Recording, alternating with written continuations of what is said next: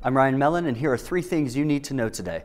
The Barney Ewell Project formally began Tuesday. Its goal is to tell the story and display the history of Lancaster's greatest athlete. Ewell, a McCaskey High School and Penn State graduate, died in 1996 at age 78. He was once considered the fastest man in the world and won numerous national and international track and field honors, including an Olympic gold medal and two silvers. For the 14th year, groups around Lancaster County are tidying up their local streams as part of the annual Project Clean Stream Day. The Alliance for the Chesapeake Bay organizes the all-volunteer effort in six states and Washington, D.C., from which water drains into the Chesapeake Bay. This year's goal is to rally 100,000 volunteers at more than 4,000 stream sites and to remove 4 million pounds of trash during the spring. Easter is around the corner and Easter egg hunts are here.